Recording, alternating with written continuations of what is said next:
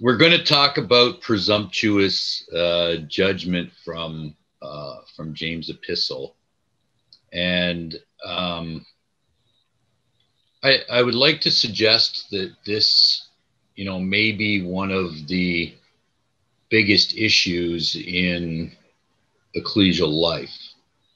Overcome, and one of the more difficult to um, deal with.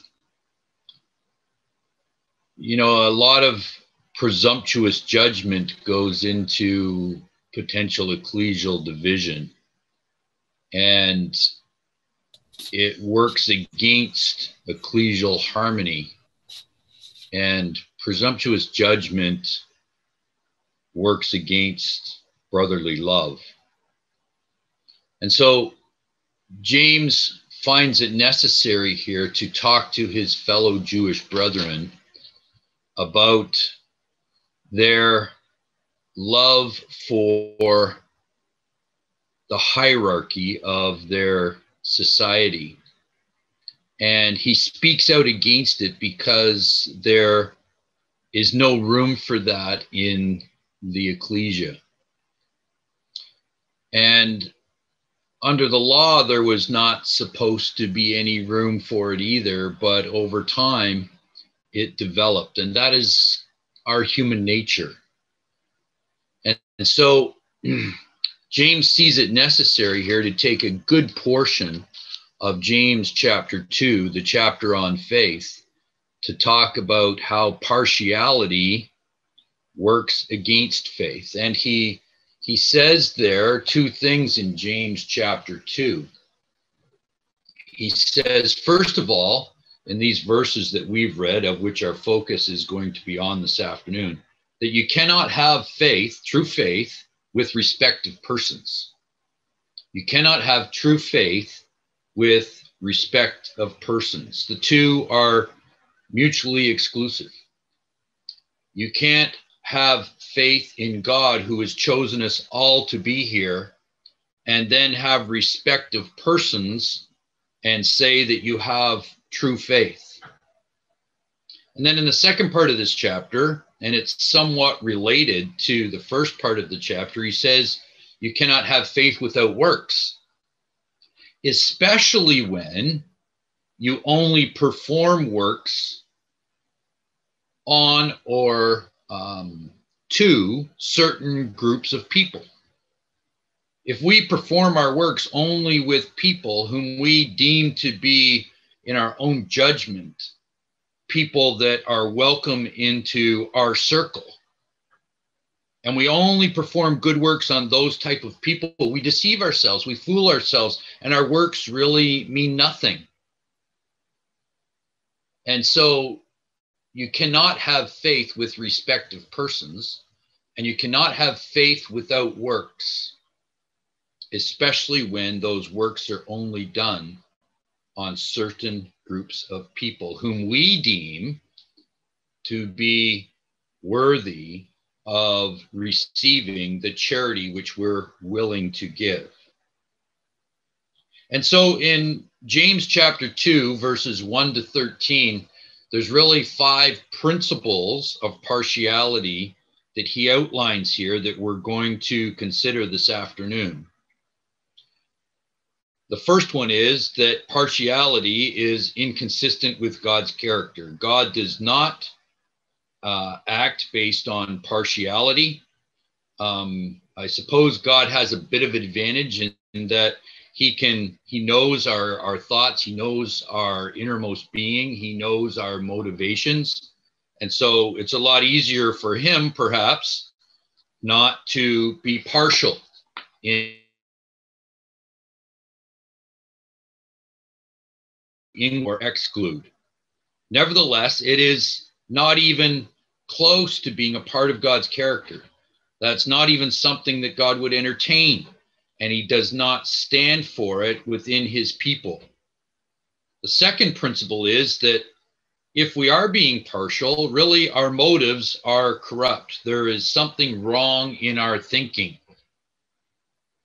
The third point there is that partiality contradicts God's calling. God has caused it, called us all, and he has chosen us all to be included.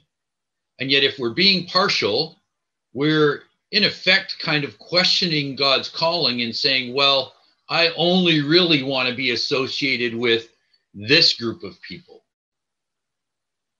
And so partiality then contradicts God's calling. Partiality, point number four, is it violates scripture. It's not a scriptural thing. And we're going to look at some of the allusions back to Leviticus chapter 19. And then finally, it lacks point number five, the compassion of Christ. So let's begin with point number one partiality. Partiality is inconsistent with God's character.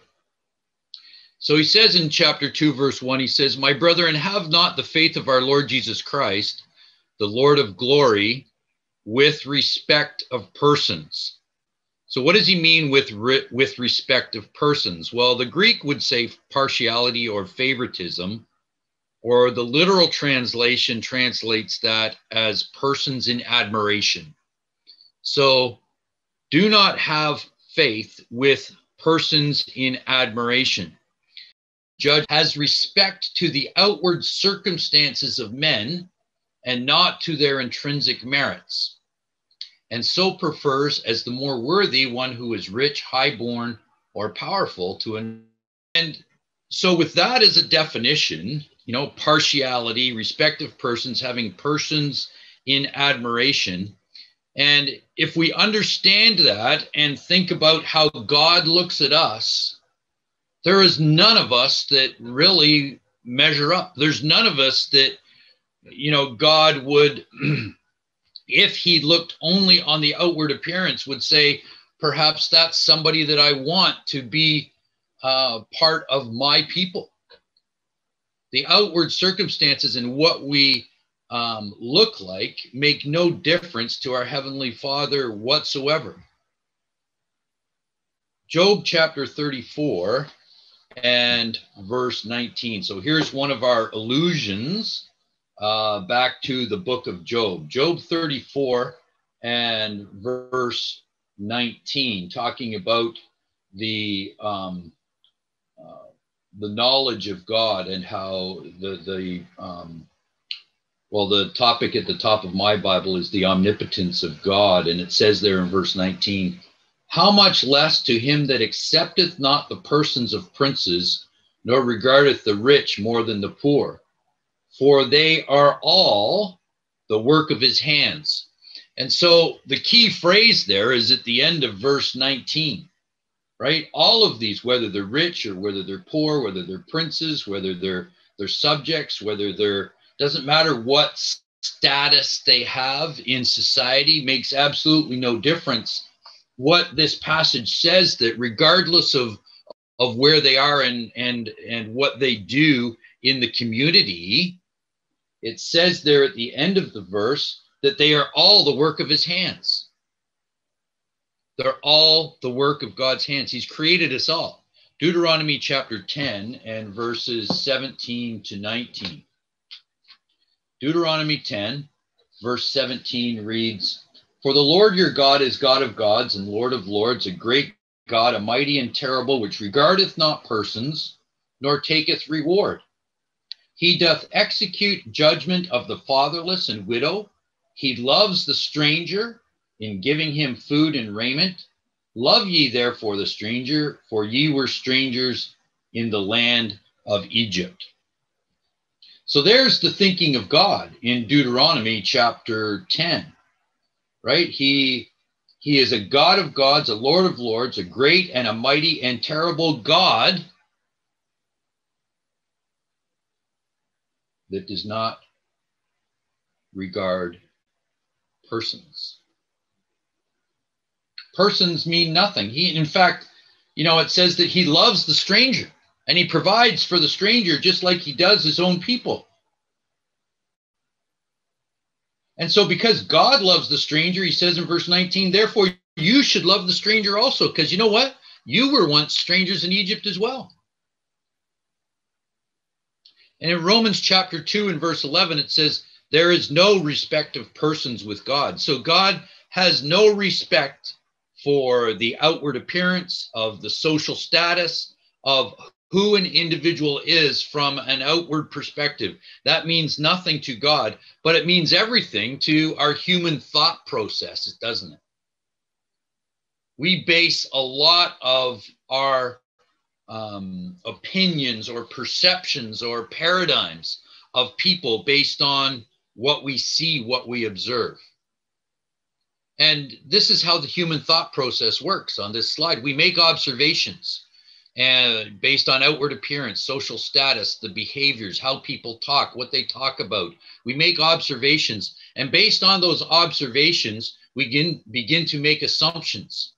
And over time, we start to categorize different groups of people. And as we make observations about people, we put them into one category or another. And we develop these paradigms, these perceptions of who people are and what they're not.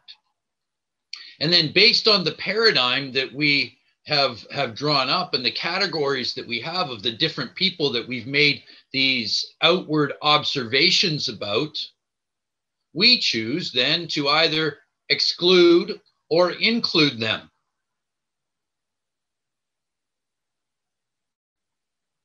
And God has chosen us all. So, who are we then? If God has chosen us all, who are we then to exclude some whom God has called to be in our ecclesia? What business do we have of questioning God? Because that's really what we're doing when we make these, these judgments and, and have this partial sort of attitude about who's in and who's not. God has chosen all of us to be here. And we may not exclude somebody, you know, we may not write them off, but we might avoid them. We might shun them. We might treat them differently. And maybe we fail to treat them as a true brother or sister. So we may not exclude them totally. Maybe it's a little bit more subtle than that. But nevertheless, we create a point of difference. And that human thought process, we do it without even thinking about it. It just it just happens. It's who we are. We make those observations, we draw those paradigms. That just happens. It's part of, of the way we think. It's part of the way our brains were wired. But we have to teach ourselves not to listen to that part of our brain. Because we make those observations doesn't mean that we have to act on them. And they become wrong, especially when we start acting on the observations that we have made. And so partiality then reveals corrupt motives, doesn't it? And here's one of our allusions back to Leviticus. Turn back to Leviticus chapter 19, if you will. Leviticus chapter 19 and verse 15, it says, Ye shall do no unrighteousness in judgment. Thou shalt not respect the person of the poor, nor honor the person of the mighty, but in righteousness shalt thou judge thy neighbor. And so there's the principle taken from Leviticus chapter 19 that James deems it necessary to elaborate on in his epistle so that his fellow Jewish brethren will know how to properly behave themselves in the ecclesia. Turn to Deuteronomy chapter 1 and verse 17. Deuteronomy chapter 1 and verse 17 uses an interesting phrase to describe what it means to be partial or to have respect of persons. Deuteronomy chapter 1, verse 17 says, Ye shall not respect persons in judgment. Now, if you look at your margin, what does your margin say? Ye shall not acknowledge faces in judgment, but ye shall hear the small as well as the great. Ye shall not be afraid of the face of man, for the judgment is God So ye shall not acknowledge faces in judgment. What a person looks like, what they stand for, what they, um, what place or position they have in society, whether they're rich or whether they're poor, doesn't make any difference. When you're performing judgment, you don't consider those things. You don't hold their faces in admiration. You don't acknowledge their face. First Timothy chapter 5 and verse 21 talks about the same sort of concept, but in the context of the ecclesia. First Timothy chapter 5, reading, I've well, lost Timothy in my Bible. Where's 21 says, I charge thee before God and the Lord Jesus Christ and the elect angels that thou observe these things without preferring one before another, or if you have your margin, without prejudice. And so, in all of the comings and goings of the ecclesia, we're not to prefer one before another, that we might do nothing, it says there, by partiality. And so, God has called us all and we are therefore not to prefer one before another. Jude, verse 16, says that we should not hold men's persons in admiration. All of those things are spoken out against in the Word of God. And so when we come back to James chapter 2, he gives us an example, doesn't he? He says, Look at what about the gold ringed man? For if there come into your assembly a man with a gold ring in goodly apparel, and there come also a poor man in vile raiment. So he, he, he says, here's an example. You have this gold ring man. What paradigm, if I if I describe to you a gold ring man, what what you know that that uh, comes and what does it say in goodly apparel? What does that conjure up in your mind? You think, well, maybe he's rich, maybe he's educated, you know, maybe he has some high social authority or he has power and influence in the community that's immediately what you conjured up in your mind. And then if there's a poor man that comes in it says they're in vile raiment what does that conjure up in your mind? You think well maybe uneducated debt ridden he comes with baggage and he's he's just hanging out because he's looking for a free handout. And even before we talk to these individuals even before we find out what they're all about we've already made that mental assessment of who they are. And we've already categorized them according to our own mental paradigm, and we've boxed them and put them in this certain box.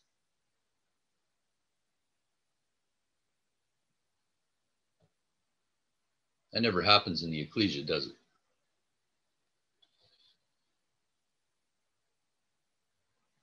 There's all kinds of potential criteria for social division in the ecclesia wealth, you know, what ecclesia you attend, you know, your family background, your occupation, race, ethnicity, your physical ability or disability, you know, your belief. And I'm not talking about doctrinal issues there, your age, you know, how active you are in the ecclesia, whether that be speaking, playing the organ, teaching Sunday school, whatever.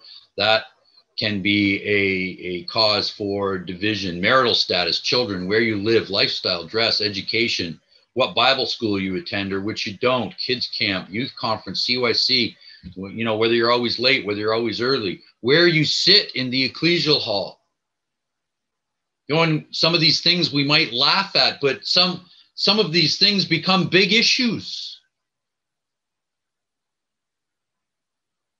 And so he says when we come back to James chapter 2, he says, If ye have respect to him in gay clothing, the word respect to there means to gaze at. If you can't take your eyes off him because, ooh, uh, you know, I want to associate with that man with the the gold rings and the and the, maybe some of his his persona will rub off on me, or or maybe all up, you know, all appear to to rise up in my social standing because now I'm in his, you know, social clique. He says, If you have respect, if you gaze at him that is in radiant or magnificent clothing, as that word gay means there in verse three. You know, if you have respect to him, then you're wrong. You have to stop and you've got to slap yourself upside the head and say, you know, what what am I thinking? You know, why in the ecclesia should there be anything special about him who dresses one way or another? But if you turn to Second Corinthians chapter 10, in the ecclesia at Corinth, this was a real issue. Second Corinthians chapter 10, we begin to read at verse 7. It says, Do ye look on things after the outward appearance? If any man trust to himself that he is Christ, let him of himself think this again, that as he is Christ, even so are we Christ. For though I should boast somewhat more of our authority, which the Lord hath given me for edification, and not for your destruction, I should not be ashamed, that I may not seem as if I would terrify you by letters. For his letters say they are mighty and powerful, but his bodily presence is weak and his speech contemptible. Let such an one think this, that such as we are in word, by letters, when we were absent, such will we be also indeed when we are present. And here's the key verse, verse 12. It says, For we dare not make ourselves of the number or compare ourselves with some that commend themselves. But they, measuring themselves by themselves and comparing themselves among themselves, are not wise. Measuring themselves by themselves and comparing themselves among themselves. Do we do this? Absolutely, we do. We look for people that think, that act, that dress, that behave, that talk, that walk the same as we do.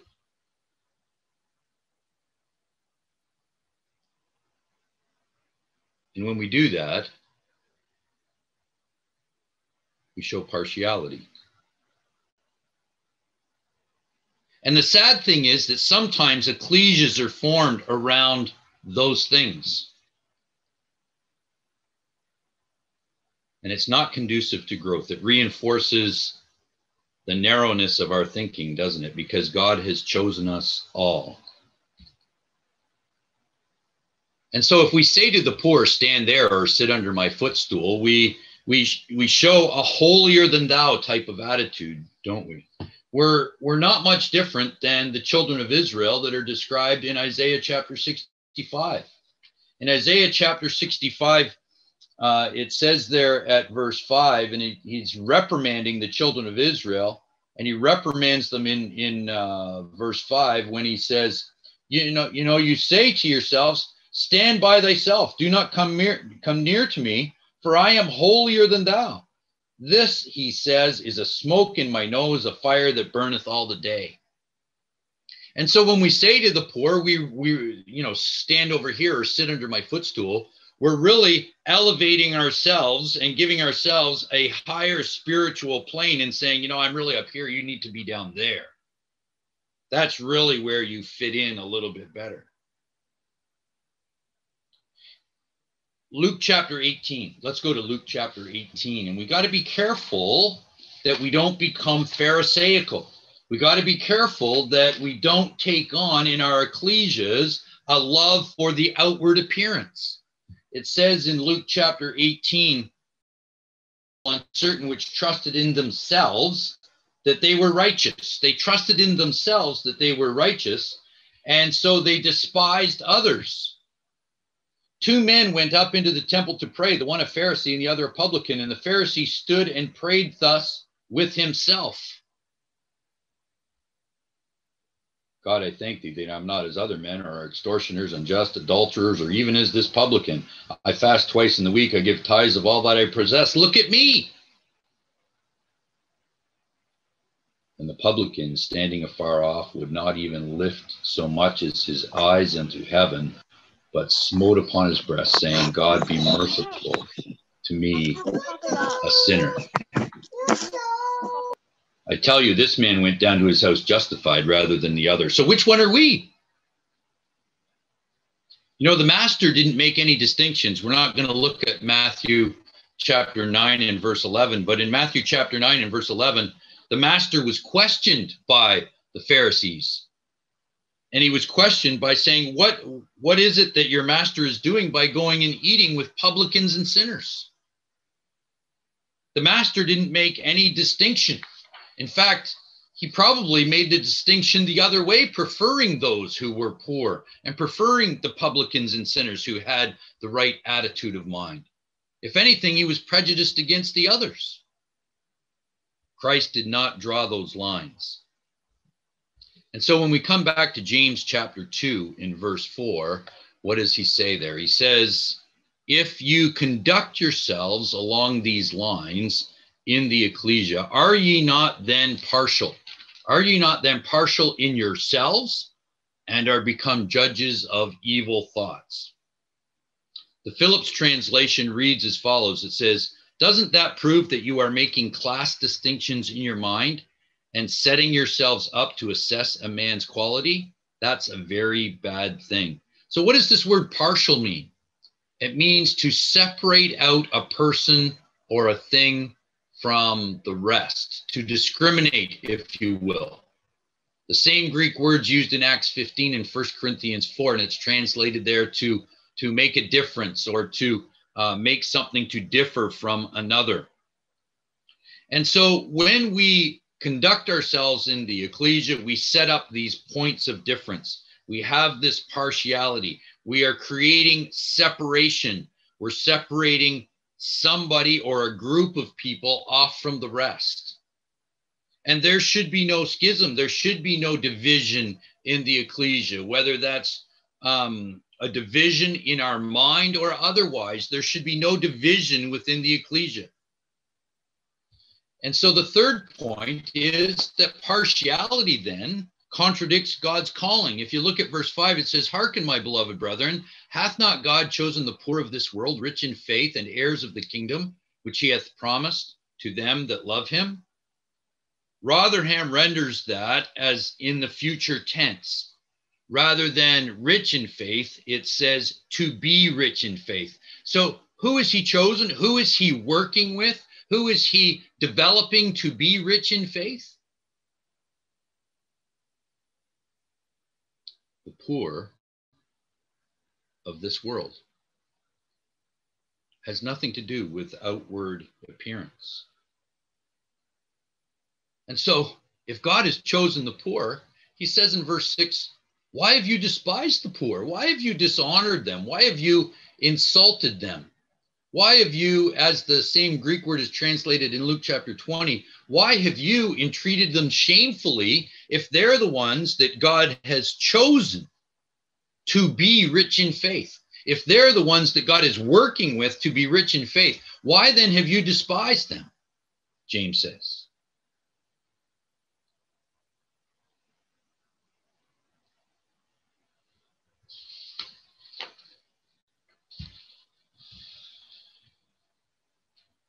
And so he says in verse six, he says, you know, by the way, you know, you you you've given this preferential treatment to those who are rich. He says, yeah, it's the rich men that are oppressing you. He says in verse six, it's kind of ironic, isn't it? Isn't it that when they come into your ecclesia, you give them the uppermost seat you welcome them with open arms, and yet they're the ones, he says in verse 6, that oppress you and draw you before the judgment seats.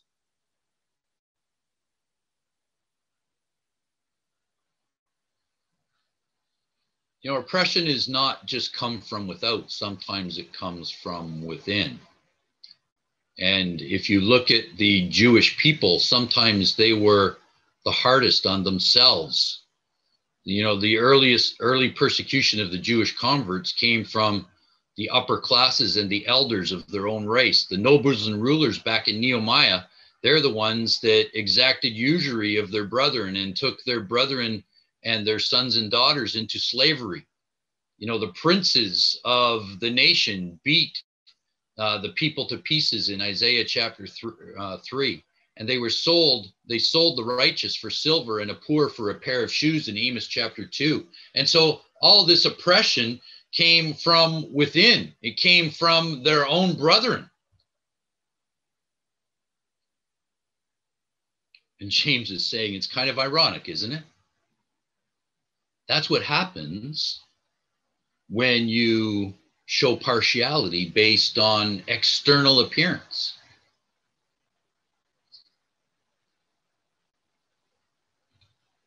Point number four is that partiality contradicts God's calling. says that in verse 8 if ye fulfill the royal law according to the scriptures thou shalt love thy neighbor as thyself. You do well. And so he's quoting from leviticus chapter 19 and verse 18 there. Then he says in verse 9 but if ye have respect to persons ye commit sin and are convinced of the law as transgressors so he's quoting from we've already looked at it leviticus chapter 19 and verse 15 and then in verse 10, he says, For whosoever shall keep the whole law and yet offend in one point, he is guilty of all. He's quoting from Deuteronomy chapter 26. So the law is all or nothing. And so when you combine all those points together in those three verses, what he's really saying is you can't love your neighbor and have respect of persons. You can't love your neighbor and show partiality. The two concepts are mutually exclusive. In order to keep the law, you've got to keep both. You've got to love your neighbor and you've got to not have partiality or show respect of persons. By definition, if you show respect of persons, you're really not loving your neighbor. And so then the last point is that when you show partiality, really you lack the compassion of Christ. And so he says in verse 12, he says, So speak ye and so do as they that shall be judged by the law of liberty. For he shall have judgment without mercy that hath no hath showed no mercy, and mercy, he says, rejoiceth against judgment. So he's introduced here the law of liberty. And that applies to our evaluation of others. How do we apply our evaluation of others. It doesn't mean that we can be willy nilly with this law of liberty. That's not what he's saying. He, he's not saying that we can use that law of liberty to show maliciousness and that sort of thing against our, our fellow brethren and sisters. That's not what he means. But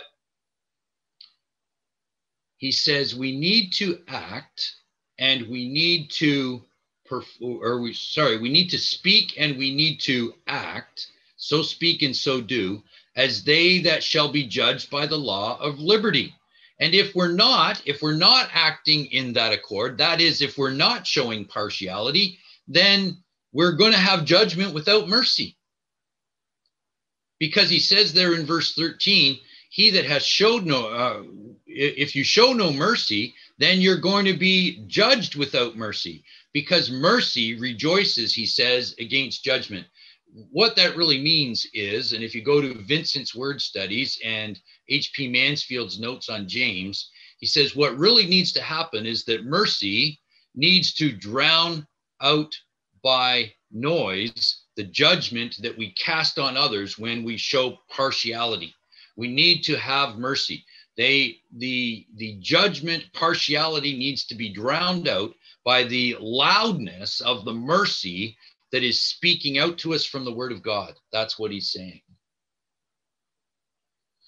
Turn, if you will, to 1 Samuel chapter 26. 1 Samuel chapter 26. And here's a great example where David could have taken what we would consider to be just retribution, and he chooses not to, right? It's in the matter of Saul.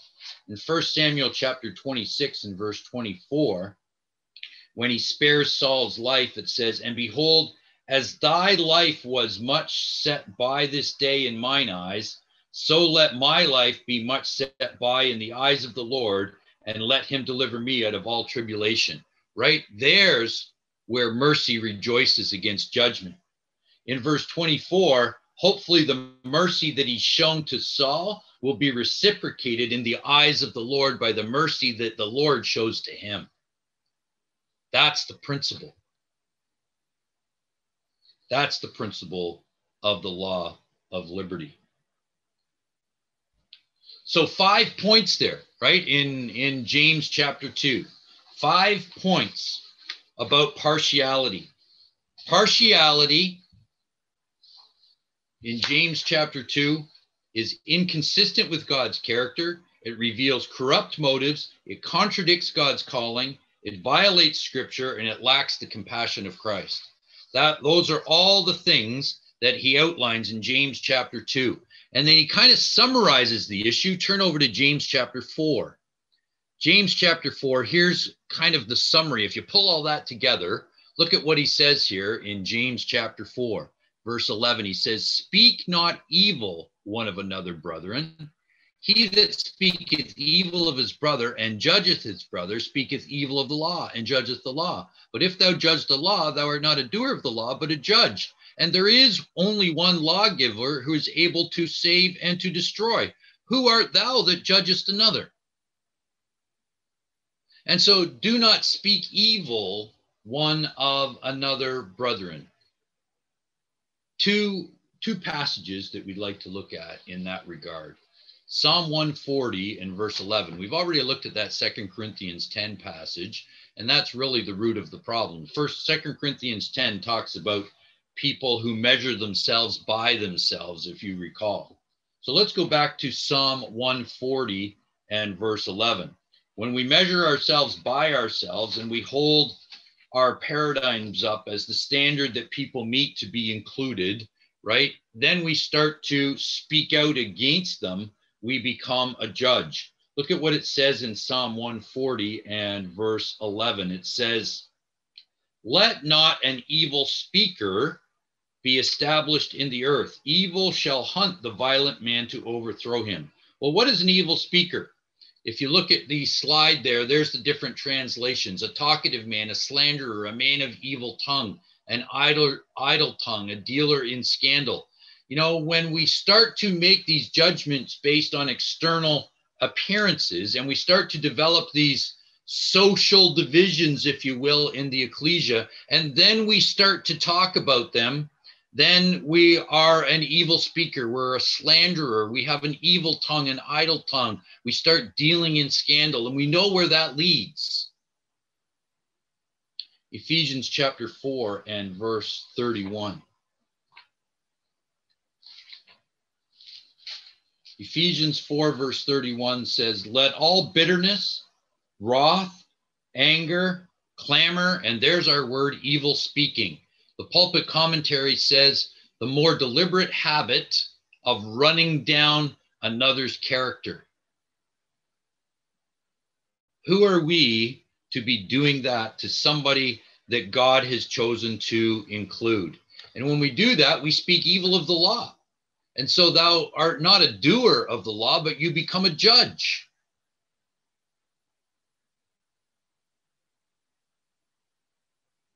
We all know where judgment leads. We'd like to conclude in Matthew chapter 7.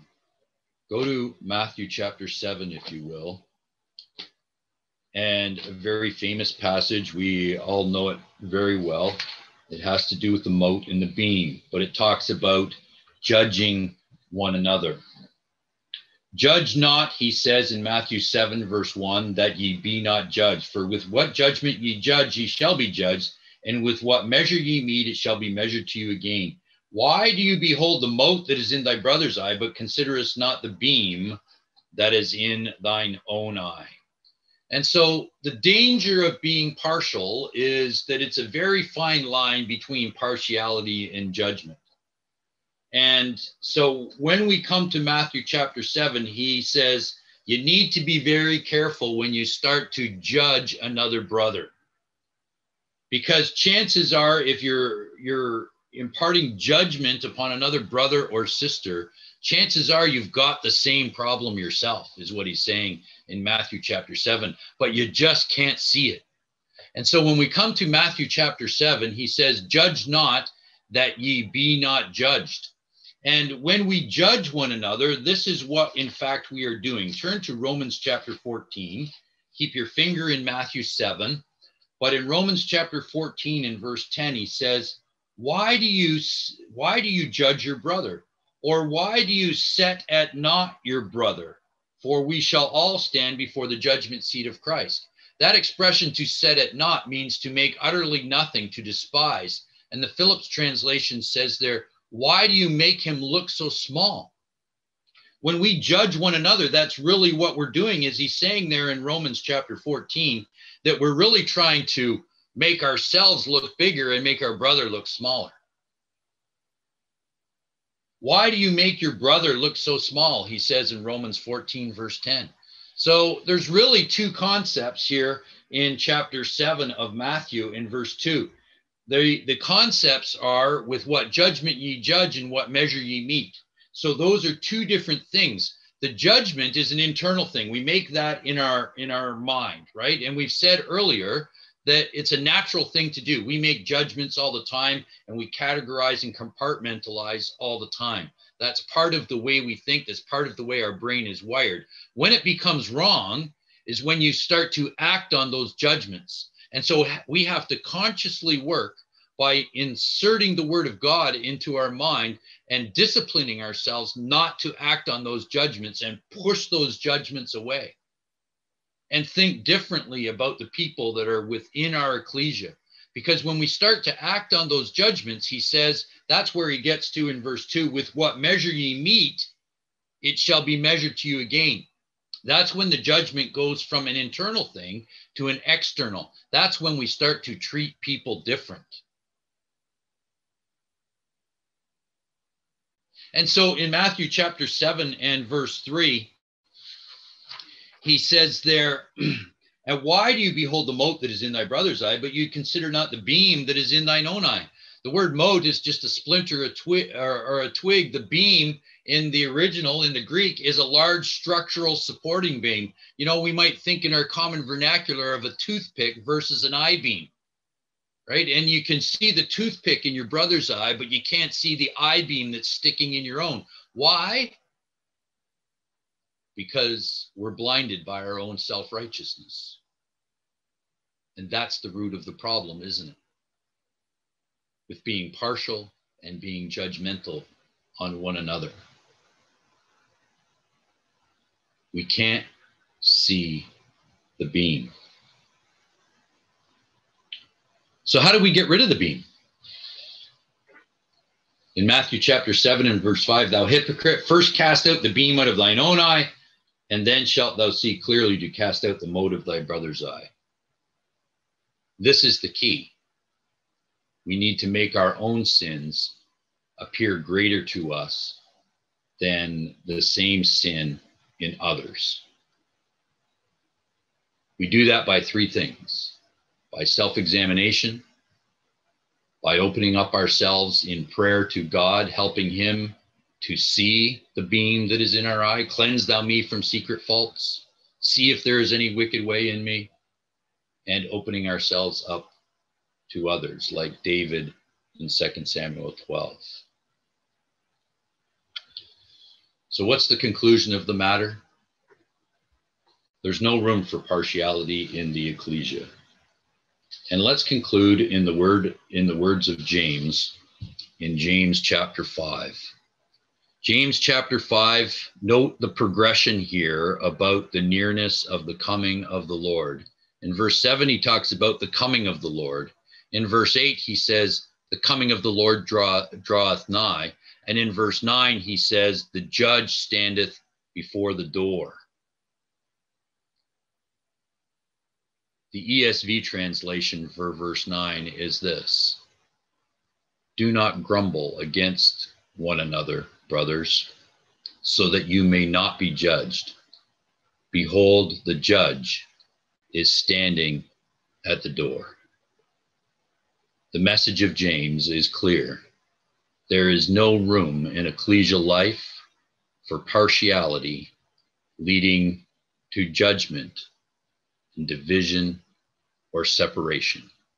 And so, brethren and sisters, let us not be grumblers in the ecclesia, mumbling and grumbling against one another.